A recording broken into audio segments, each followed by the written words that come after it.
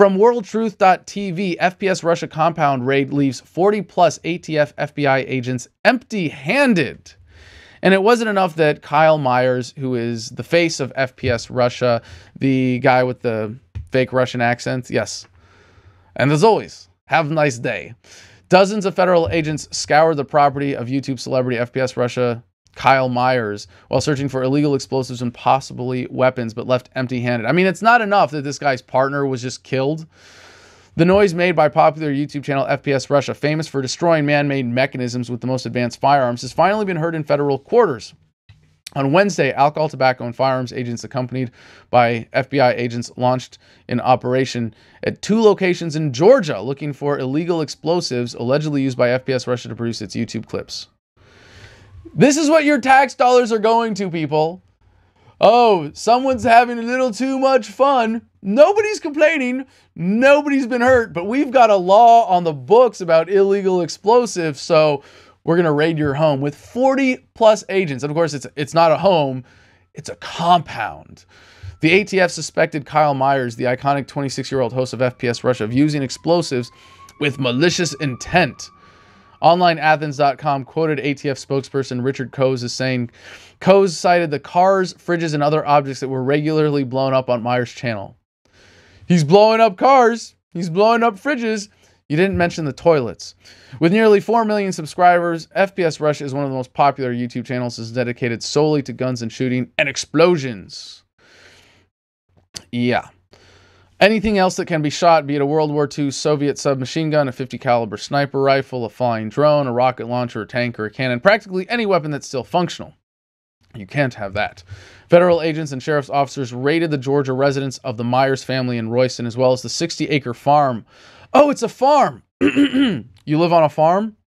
Well, the ATF might just come and raid your compound owned not by Kyle but by his father because that's where they have their their testing area set up.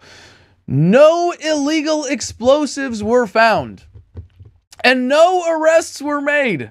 But considering the unprecedented arsenal stocked at one of the locations, the agents considered confiscating Myers' weapons. Quote, the idea at one of the locations was to take firearms, but they did not do that, according to an ATF spokesperson.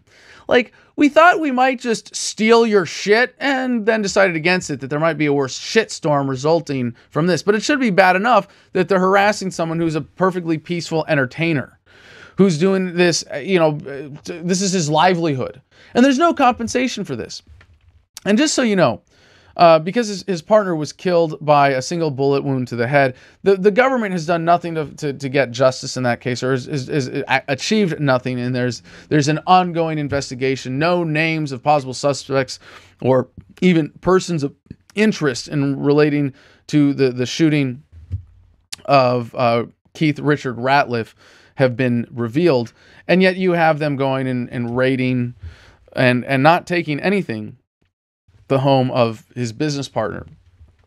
So, what you know, what what alternative does does the free market offer here? At very least, let's say that there was such an incident that there there was reasonable suspicion that a justice agency decided, hey, we're going to go in and we're going to have to scour someone's home. We have uh, we have probable cause. We have a warrant from a judge and well, wouldn't be a judge in this case. It would be from from our council or our committee or or or one of our agents has decided that we have probable cause to go in.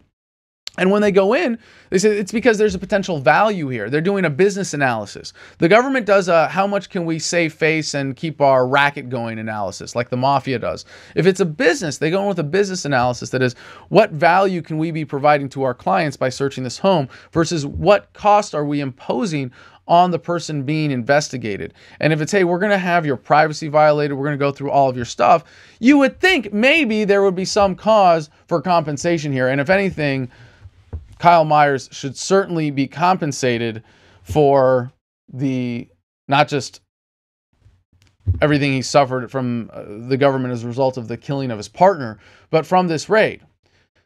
But fortunately, the internet free market is there to compensate. And FPS Russia will certainly be enjoying a continued increased view count on their YouTube channel. And uh, I wish Kyle Myers the best of luck. I hope we get a chance to collaborate one of these days.